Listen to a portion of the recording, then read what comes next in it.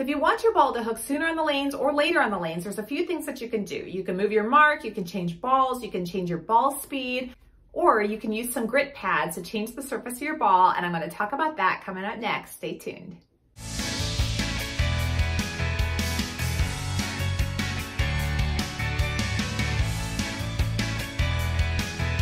Okay guys, so if you want to change the surface of your bowling ball, it's a great way to get your ball to hook sooner, hook later, to just change the reaction down lane.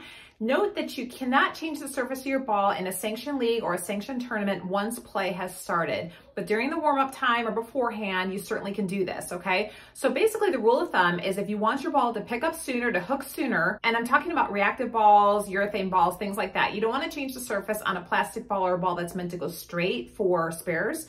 But on your reactive balls, you can do this. And the rule of thumb is the lower the grit number, like 500, for example, that will pick up sooner. That will hook sooner. On the opposite end, the higher the number, that will go down lane longer before it hooks, okay?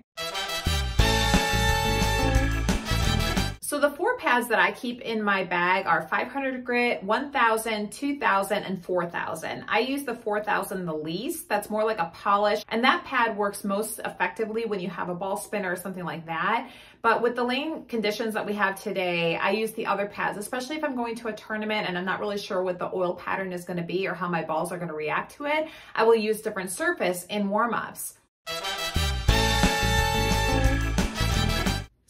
I'll take my 500 grit pad and hit a ball with that and then throw it down maybe board five and see what happens. If I don't know what the oil pattern is or how the ball's gonna react on it. And then if I want my ball to hook earlier, I'll keep that 500 surface on it. If I wanted to hook down a little bit later, I might change to a 1,000 or 2,000. And the nice thing about these pads is once you change it, it's not set in stone. You can change it again. Or maybe you like how your ball comes out of the box and you want to keep that, but after maybe 20 games, 30 games or more, you're noticing that your ball isn't reacting as much, you can hit it with one of these pads again to get it back to that surface that you like.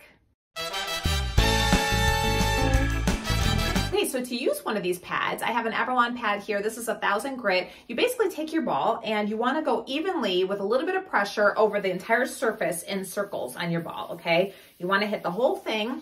You can kind of see, I think, how it's changing a little to a little bit more of a snowy color.